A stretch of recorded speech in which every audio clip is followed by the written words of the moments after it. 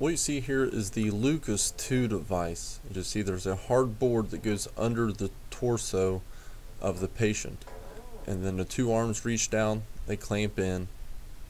And in the video, it does take them just a little bit to get the patient adjusted to the proper placement to where the plunger will get centered the same place you do hand compressions over the lower half part of the breastbone. You take the plunger, center it where you need to, and then on the top you hit the start button and it continues to do automatic compressions whether you have it set to do continual compressions or you can set it to do the 30 chest compressions and 2 ventilations.